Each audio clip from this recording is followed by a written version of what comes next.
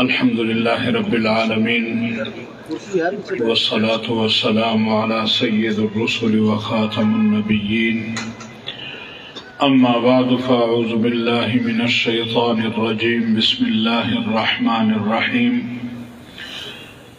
इन्न दीन इंदल्लाहिल इस्लाम सदक़ल्लाहु मौलाना अज़ीम मेरे इंतहाई काबिल कदर सदर मजलस मेरे इंतहाई मोहतरम फ़ख्र जमीयत हज़रत मौलाना अब्दुल गफूर हैदरी साहब, दामद बरक़ात आलिया नाजिम अमूमी जमीयत इस्लाम पाकिस्तान, बिरदर मोहतरम हज़रत मौलाना अमजद ख़ान साहब, दामद बरक़ात आलिया स्टेज पर मौजूद मुख्तर कराम जमीयत इस्लाम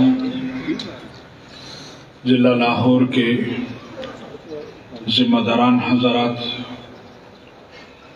मुख्तर कराम और मेरे इंतहाई काबिल कदर बुज़ुर्गों, दोस्तों और भाइयों, मेरे लिए यकीनन ये एक एजाज़ की बात है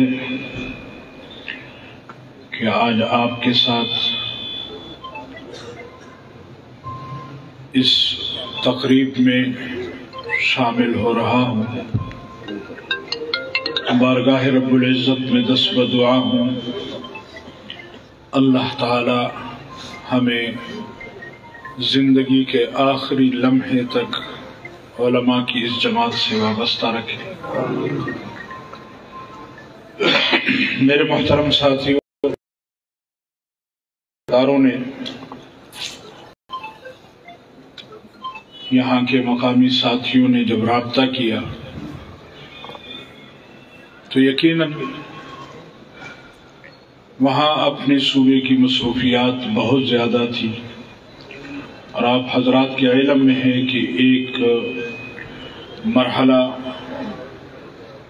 गुजर चुका है, लेकिन दूसरा मरहला जो है वो हमारे सर पर है। और दुआ फरमाए कि अल्लाह ताला ने जिस तरह गुजशत इंतबात में जमीयत इस्लाम को सुरखरू किया है, अल्लाह ताला आने वाले मरहलों में भी जमीयत इस्लाम को सुरखरू फरमाए। यकीनन इस वक्त की जो कामयाबी है, वो अल्लाह रब्बुल आलमीन का फजल करम है। हम अपने रब का जितना भी शुक्र अदा करें, वो कम होगा। हदीस में आता है, जनाब रसूलुल्लाह सल्लल्लाहु अलैहि वसल्लम फरमाते हैं इन नकलूब बनी आदम बैन इसबाई रहमान अन युकल्लिब कैफ यशा औ कमा क़ाल नबी सल्लल्लाहु अलैहि वसल्लम। इंसानों के दिल जो है, ये अल्लाह ताला के दो उंगलियों के दरमियान है। वो जिस तरफ़ चाहता है, फेर देता है। अल्हम्दुलिल्लाह, सुम्मा अल्हम्दुलिल्लाह, कि अल्लाह ताला ने इस वक्त पूरी कौम के दिलों को जमीयत इस्लाम की तरफ़ फेरा हुआ और हर जगह। लोग अब ये समझते हैं कि इस मुल्क के हकीकी मानों में, इस मुल्क की नजरियाती तहफ़ करने में, इस मुल्क की सियासत में अगर कोई संजीदा कुत है तो वो जमीयत इस्लाम है और जिस तरह जमीयत इस्लाम पर एतमाद सुबह खैबर पख्तनख्वा के मुसलमानों ने किया है मुझे उम्मीद है इन ताला कि आने वाले दौर में पंजाब हो सिंध हो बलूचिस्तान हो अगर वहाँ पर भी मुख्तदर क़वतों ने अपनी दिलचस्पी का मुजाहरा न किया तो कौम इन ताला जमीयत इस्लाम को ही मुल्क की बाग दौड़ देने को तैयार है। मेरे मोहतरम साथियों, अभी स्टेज के नाजिम ने कहा कि हमें भी वो तरीका बताया जाए कि किस तरह आपने वहाँ इलेक्शन जीते हैं ताकि हम भी तो मेरे मोहतरम साथियों, हमने तो न कभी दावा किया है और न कर सकते हैं, न इस काबिल हैं।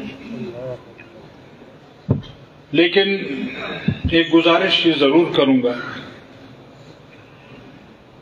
कि हमने जमीयत इस्लाम के काम को दीन का काम समझा है। हमारे यहाँ एक कमज़ोरी है और ख़ासकर यहाँ के हमारे कराम खसूस हमारे वर्कर, वो जमीयत इस्लाम को भी दूसरी सियासी जमातों की तरह एक जमात समझते हैं। और जिस तरह दूसरी सियासी जमातों को उनके वर्कर सपोर्ट करते हैं और उनके जो मफादात वाबस्ता होते हैं, कि कल उनके एम पी एस होंगे, कल उनके मिनिस्टर्स होंगे, कल उनके इख्तियार होंगे, फिर हम इनके वोटर होंगे, इनके सपोर्टर होंगे, फिर हमें वहाँ मनसब मिलेगा, फिर हमें वहाँ वजारतें मिलेंगी, फिर हमारे काम होंगे, हमारे मफादात पूरे होंगे। मैं माफ़ी चाहते हुए जमीयत इस्लाम के साथियों से भी ये कहूँगा कि हमारे यहाँ के साथियों ने भी जमीयत इस्लाम को उस तरह की एक सियासी पार्टी समझा हुआ।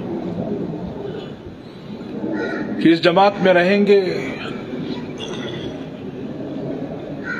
तो शायद कभी वक्त आया तो फिर इनके कोई मिनिस्टर होंगे, इनके कोई मेम्बरान होंगे, फिर हमारे कोई काम होंगे, हम जाकर अपने काम निकलवाएँगे। और अक्सर अवकात ऐसा होता है कि हमारे पंजाब के बहुत सारे साथी इस्लामाबाद आते हैं तो फिर अपने सूबे से तो कोई मेंबर होता नहीं है तो हमारे जो मेम्बरान होते हैं, बलूचिस्तान और खैबर पख्तूनख्वा से उनके पास आते हैं। लिहाजा मैं ये गुजारिश बुनियादी तौर पर यह करना चाहता हूँ कि जमीयत इस्लाम ये दीगर सियासी जमातों की तरह कोई जमात नहीं है। जमीयत इस्लाम को हम अपना अकीदा समझते हैं, अपना ईमान समझते हैं। मदरसे की दरसगाह में बैठकर काल अल्लाह, काल रसूलुल्लाह सल्लल्लाहु अलैहि पढ़ाने वाला मुदर्रिस, मस्जिद में खिताबत व इमामत करने वाला आलम दीन, खानकाह में बैठने वाला अल्लाह अल्लाह करने वाला बुज़ुर्ग अगर उसको वो दीन का काम समझता है तो हम जमीयत और अमा इस्लाम के काम को भी उसी तरह दीन का काम समझते हैं। हज़रत मौलाना हुसैन अहमद मदनी रहमहुल्लाह से किसी ने पूछा कि, हज़रत, आप जमीयत के जलसों में जाते हैं, सियासी जलसों में जाते हैं? फरमाया हाँ मैं जिस नीयत के साथ दारुल हदीस में हदीस का दर्श देने जाता हूँ, उसी नीयत के साथ जमीयत के जलसे में जाता हूँ। तो मेरे महतरम साथी जमीयत इस्लाम के काम को सिर्फ़ सियासी कहकर और सियासी भी इस तरह जो आजकल की मुरवजा सियासत है आज हमारे सियासी वर्कर सियासी अमायदीन, सियासी लोग, वो कौम के अंदर इसको बदनाम लफ्ज को इतना कर दिया गया है कि हम सियासत को गाली समझते हैं। हालाँकि सियासत ये अंबिया की वरासत है। जिस तरह एक आलिम दीन जो है अलमा वरसतुल अंबिया, एक आलिम दीन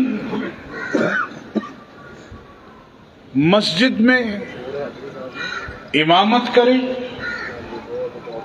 दरस तदरीस का सिलसिला चलाए या खानकाह का सिलसिला चलाए, जिस तरह उसके लिए वो वरासत है, इसी तरह जमीयत इस्लाम के प्लेटफार्म पर उम्मत मुस्लिमा की रहनुमाई करना, सियासी मैदान में अपने कौम की रहनुमाई करना, ये भी अम्बिया की वरासत में से लिहाजा एक तो कराम की खिदमत में ये गुजारिश करूँगा कि जरा अपने अकीदे को टटोलें। अगर हमने अपने मज़हब, अपने दीन को सिर्फ़ मस्जिद, मदरसे और खानकाह तक महदूद कर दिया तो फिर हमारी आखिरत का क्या होगा?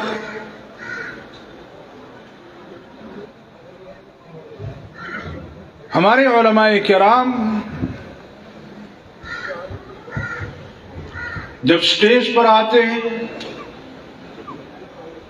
कौम के सामने किसी भी मसले पर गुफ्तगु करना चाहे तो उनके पास अल्फाज का बहुत बड़ा जखीरा होता है। लेकिन जब सियासत का मौका आता है जब कौम के पास जाने का वक्त आता है तो फिर वहाँ हमें बड़ी सुख की होती है कि हम इस कौम से क्या कहें, किस तरह उनको कायल करें, कि आपने जमीयत इस्लाम को वोट भी देना है और सपोर्ट भी करना है।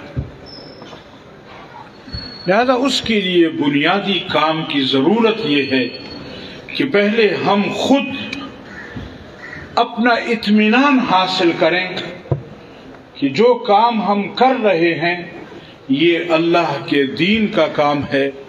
जिस तरह नमाज़ मुझ पर फ़र्ज़ है, जिस तरह रोजा मुझ पर फ़र्ज़ है, इसी तरह अल्लाह के दीन के लिए मेहनत और इस मैदान में अल्लाह के दीन के लिए अपने आप को कुत साबित करना, ये भी मेरे ईमान का हिस्सा है।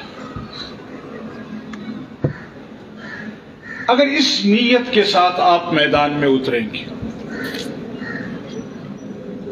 जिस तरह आपको खानकाह में बैठकर अल्लाह अल्लाह करने से किसी किस्म की कोई लालच नहीं होती। इसी तरह मदरसे में बैठकर अगर आप पाँच दस हज़ार में अल्लाह के दीन की खिदमत कर रहे हैं, वहाँ आपकी ज़रूरत पूरी नहीं होती। लेकिन आप समझते हैं कि ये अल्लाह के दीन का काम है। और इस पर आपको अजर मिलता है। तो आप दिन रात उसमें लगाते हमारे आम मुसलमान, ये जब कारोबार करते हैं, दुकानदारी करते हैं, कारखाने में काम करते हैं, जमींदारा करते हैं, ये सारा साल काम करने के बाद सोचते हैं कि सारी ज़िंदगी तो हमने दुनिया के कामों में लगा दी, आए अब अल्लाह के दीन के लिए कुछ काम करें। तो उनका जहन भी फ़ौरन जाता है कि चलो तबलीगी जमात में चिल्ला लगा लें, साल लगा लें, चार महीने लगा लें। वो समझते ये हैं कि ये जो तबलीगी जमात है, ये अल्लाह के दीन का काम। लिहाजा साल भर जो हमने मेहनत की, वो तो दुनियादारी के लिए थी। लेकिन अब चिल्ला चार महीने साल, ये हम अल्लाह के दीन के लिए खर्च करते इसका मकसद ये है कि जमीयत इस्लाम में काम करना, ये शायद अल्लाह के दीन के लिए नहीं है, ये मेरे अपने ज़ाती मफादात के लिए। और तबलीगी जमात में काम करना, ये अल्लाह के दीन का काम। किसी से पूछें कि भाई, क्या कर रहे हैं आप? जी मैं तो मदरसे में दरस व तदरीस का काम करता हूँ, अल्लाह का काम है, दीन का काम है। यानी जमीयत इस्लाम में काम करना, उसको अल्लाह का दीन का काम नज़र नहीं आता। खानका में बैठा हो तो कहते, मैं तो अल्लाह अल्लाह करता हूँ। लेकिन जमीयत इस्लाम में काम करना उसको, ये खुदा का काम नज़र नहीं आता। और दस बस्ता गुजारिश करूँगा कि हमारे अपने कराम भी ऐसे उनके लिए जमात में वक्त लगाना, जमात में काम करना मुश्किल होता है। मेरे मोहतरम साथी हमने तो जमीयत इस्लाम को अपना अकीदा और ईमान तस्लीम किया हुआ है। हम इस काम को आखिरत में अपने लिए निजात का सबब समझते हैं। हमें अपनी नमाजों और रोजों पर वो एतमाद नहीं है कि हमें अल्लाह अपनी नमाज़ और रोज़े की वजह से बख्शेगा। हमें अगर एतमाद है तो हमने ओलमा के दामन को पकड़ा है। जमीयत इस्लाम की खिदमत के लिए अपने आप को वक्फ किया है तो इस पर अल्लाह ताला हमारी मकबरत फरमाए। हज़रत शेखुल हिंद रहमुल्ला फरमाते हैं कि इस चौदहवीं और पंद्रहवीं सदी में अगर कोई शख्स वो ओलमा के साथ जलसे और जुलूस में शरीक होगा। अल्लाह के दीन के गलबे के लिए कयामत के दिन वो बदर के सहाबा के साथ यूँ खड़ा होगा। और उसकी वजह ओलमा ने ये लिखी कि बदर के सहाबा कराम उनके ज़िंदगी का मकसद अल्लाह के दीन को गालिब करना था। और आज भी जमीयत और इस्लाम का मकसद अल्लाह के दीन को गालिब करना लिहाजा, जो साथी जमीयत और इस्लाम में आते हैं कि हमने अल्लाह के दीन के गलबे के लिए मेहनत और कोशिश करनी है, वो एतमाद रखें कि इन ताला हमारी आखिरत भी इन्हीं कराम के साथ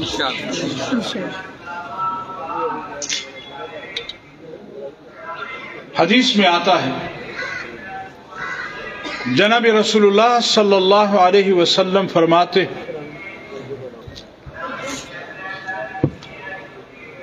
कि क़यामत के दिन अल्लाह के हुजूर, अंबिया की पेशी भी होगी। ऐसा पैगंबर आएगा, जिसके साथ कोई उम्मती नहीं होगा। ऐसा पैगंबर आएगा, जिसके साथ सिर्फ़ एक उम्मती होगा। ऐसा पैगंबर आएगा, जिसके साथ सिर्फ़ दो उम्मती होंगे। ऐसा पैगंबर आएगा, जिसके साथ सिर्फ़ तीन उम्मती होंगे। ऐसा पैगंबर आएगा जिसके साथ सिर्फ़ चार लोग होंगे।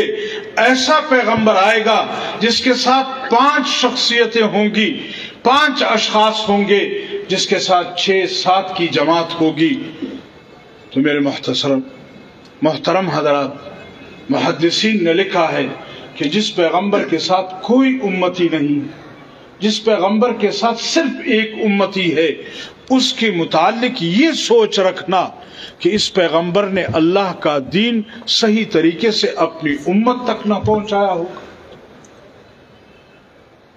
जिस मेहनत की ज़रूरत थी अल्लाह के दीन के पहुँचाने की, वो मेहनत इस पैगंबर ने नहीं की होगी, ये गलत हर पैगंबर ने अल्लाह का दीन अपनी उम्मत उम्मत तक पूरी कुत के साथ, पूरी जद्दोजहद के साथ, पूरी मेहनत के साथ पहुँचाया है। लेकिन दिलों का मालिक अल्लाह। वो किसको हिदायत दे, किसको ना दे? हम मुकल्लफ हैं सिर्फ़ अपने काम के, अपनी मेहनत की।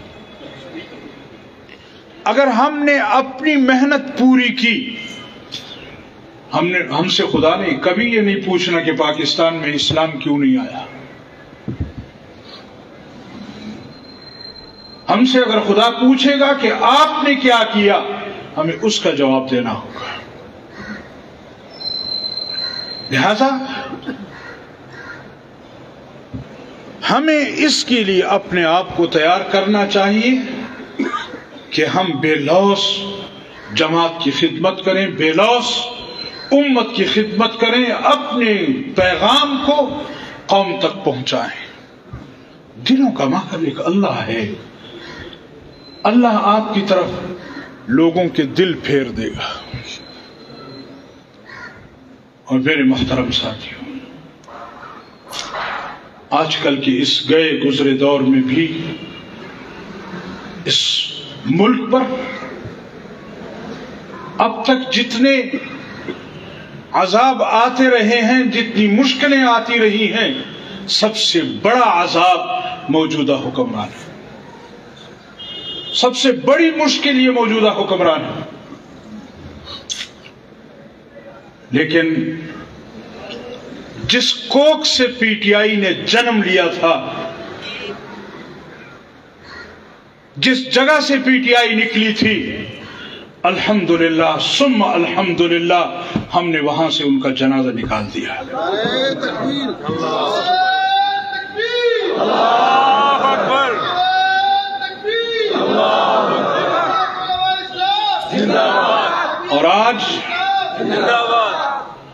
आज वो दूसरे मरहले के इलेक्शन कराने के लिए परेशान हैं।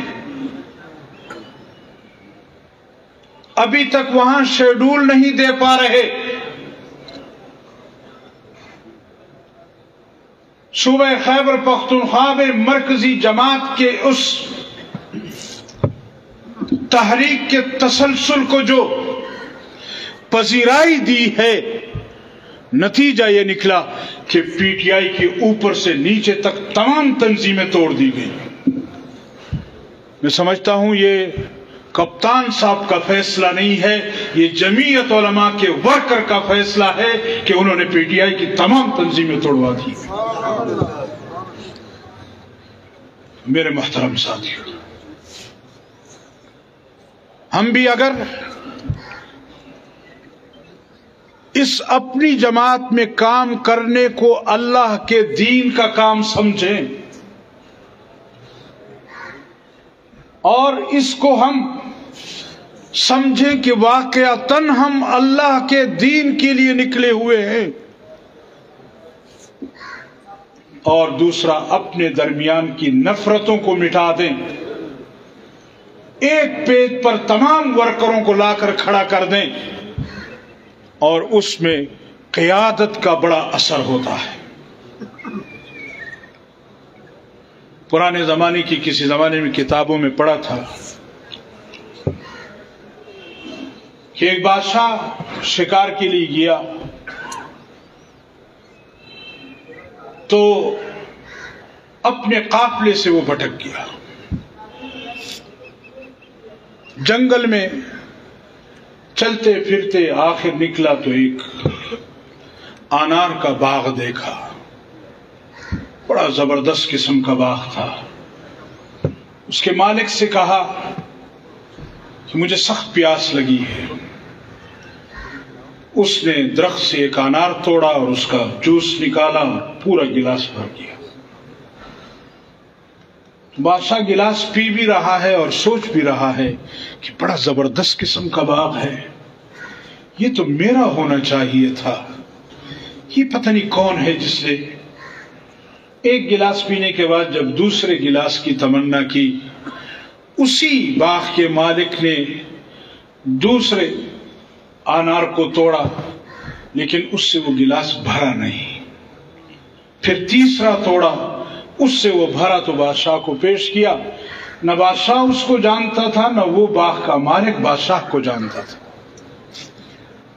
जूस पीने के बाद बादशाह ने पूछा, क्या वजह है? एक ही दरख्त है। एक मरतबा आपने अनार तोड़ा। तो उससे पूरा गिलास भर गया, लेकिन दूसरी मरतबा आपको दो तोड़कर उसी दरख्त के अनार से गिलास भरना पड़ा। वजह क्या है? तो शख्स ने कहा, मुझे लगता यह है कि हमारे खत्ते के बादशाह की नीयत खराब हो गई है। तो हमारे आमाल पर, हमारी फ़सलों पर, हमारे दरख्तों पर, हमारे बच्चों पर, हमारे महल्ले पर, आम मुसलमानों पर हमारी और आपकी नीयतों का भी असर पड़ता है।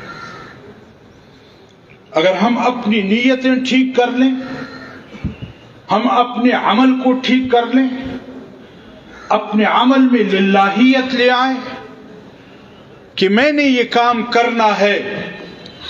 अगर कोई साथी आपके तबीयत के मुताबिक काम नहीं कर रहा, वक्त नहीं दे रहा तो अगर आपने उस पर आसरा किया हुआ है तो फिर अपने रब पर आसरा नहीं है। लिहाजा अपने आप को जमात के लिए वक्फ कर दें। और सुबह से शाम तक ये फ़िक्र अपने जहन में डाल लें कि मैंने अपनी जमात का काम करना है, इन बातिल कुवतों का मुकाबला करना है, और उसके मुकाबले में मैं हर साथी को अपने साथ कर, जोड़कर रखना चाहूँगा। मैं अपनी मेहनत जारी रखूँगा। नतीजा अल्लाह के हाथ में। मेरे मोहतरम साथियों, आज आलमी कुफ्र, दीन इस्लाम के खिलाफ, मुसलमान के खिलाफ, वो यकमुश्त हो चुका है। आज यूरोप, आज फ्रांस और जर्मनी, आज अमेरिका, ये सारे एक पेज पर आ चुके हैं कि हमने इस खत्ते से दीन इस्लाम को खत्म करना है।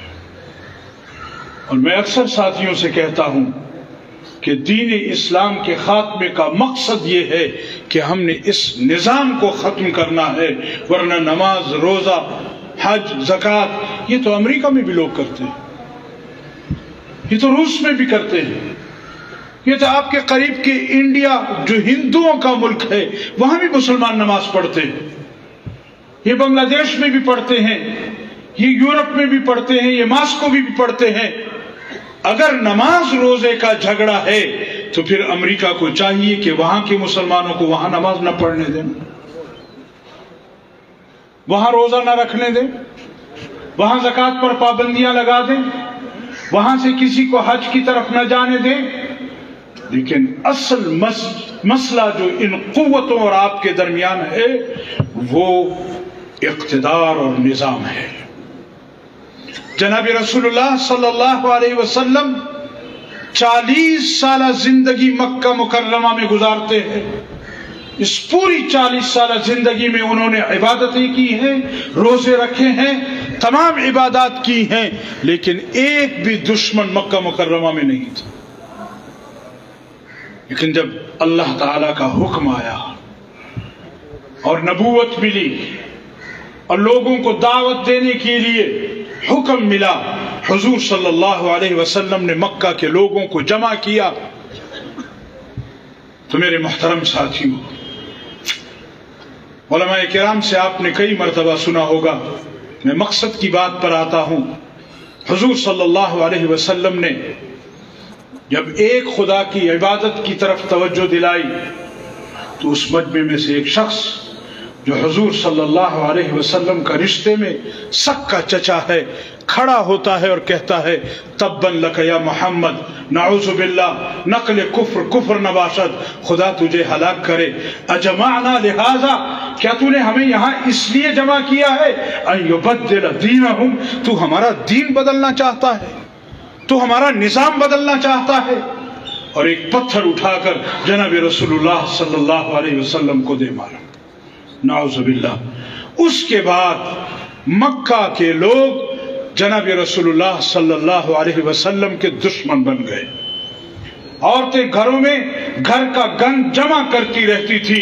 जिस दिन वहाँ से हुजूर सल्लल्लाहु अलैहि वसल्लम गुजरते थे, ऊपर से गंद के टोकरे फेंक देती थी। उस दिन के बाद हुजूर सल्लल्लाहु अलैहि वसल्लम के रास्ते में कांटे बिछाए गए।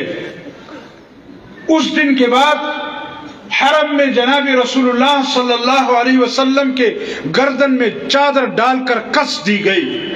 कभी ऊँट की ओजरी लाकर सजदे की हालत में ऊपर डाल दी और इतना तंग किया उनको कि जनाब रसूलुल्लाह सल्लल्लाहु अलैहि वसल्लम को, साहब कराम को मक्का मुकर्रमा छोड़कर मदीना मुनवरा जाने पड़ा। नमाज़ रोज़े की वजह से नहीं इस निज़ाम की तब्दीली के लिए नमाजें पढ़ाना, नमाजें पढ़ना, रोज़े रखना दरस तदरीस, अल्लाह अल्लाह का करके खानकाह को कायम और दायम रखना, मैं इसका मुखालिफ नहीं हूँ। मैं खुद ईदी मदरसे के चटाई पर बैठकर पढ़ने वाला इंसान हूँ। लेकिन मेरे मोहतरम साथियों अगर इसके लिए लड़ाई थी तो याद रखो कि जमीयत इस्लाम में जो शख्स काम करता है, वो खानकाह के तहफ़ के लिए करता है, वो तबलीगी जमात के तहफ़ के लिए करता है, वो मदरसे के तहफ़ के लिए करता है, वो अम्मा के तहफ़ के लिए करता है। और आज अगर इस मुल्क में इन दीनी मराकज को तहफ़ हासिल है तो उसकी वजह जमीयत इस्लाम का सियासी काम है।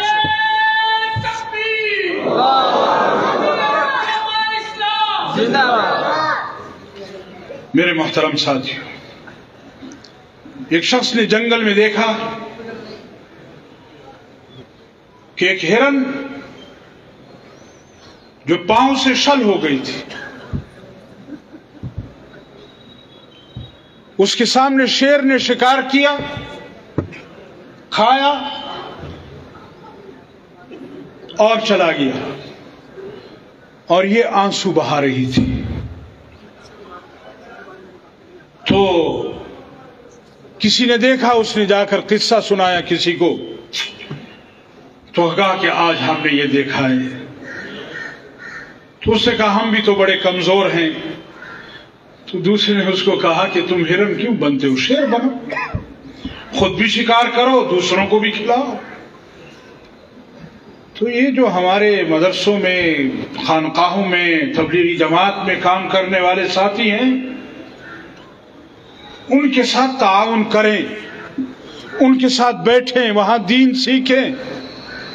लेकिन अगर सही मानों में दीन की हिफाजत का जज्बा आपके दिलों में है, आइए जमीयत इस्लाम के प्लेटफार्म को मज़बूत करें और किसी से कोई तमा और उम्मीद न रखें कि मुझे ये शाबाश देंगे, या मेरे काम को सराहेंगे, या मेरे साथ कोई दिली वो रखेंगे, ताउन का सिलसिला रखेंगे, इससे बालतर होकर आप अल्लाह के दीन के लिए मैदान में निकले। इन ताला मुझे यकीन है कि जमीयत इस्लाम सुबह खैबर पख्तनख्वा से बढ़कर आपका पंजाब आपका साथ देगा। पंजाब में हमारे यहाँ तो आठ साल हो गए। पीटीआई की हुकूमत को।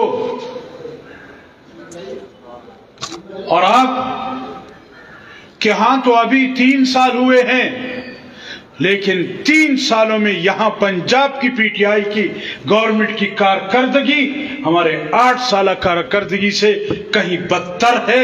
यहाँ कौम उससे ज़्यादा नाला है। आज भी अगर पंजाब में आप लोग निकलते हैं कौम के लिए मुल्क के लिए मुसलमान के लिए तो खैबर पख्तनख्वा से बढ़कर पजीराई आपको मिलेगी अल्लाह ताला आपको और हमें इस जमात में चलने की तोफीक और काम करने की तोफीक अता फरमाए। मैं आखिर में एक मरतबा फिर मुंतजमीन हजरात का जमीयत इस्लाम के कारकुनों का जिम्मेदारान का दिल की गहराइयों से शुक्रिया अदा करता हूँ। वक्त ज़्यादा ले लिया है। माफ़ी चाहता हूँ। अल्लाह ताला मेरा और आपका हामी नासिर हो। व आखिर दावान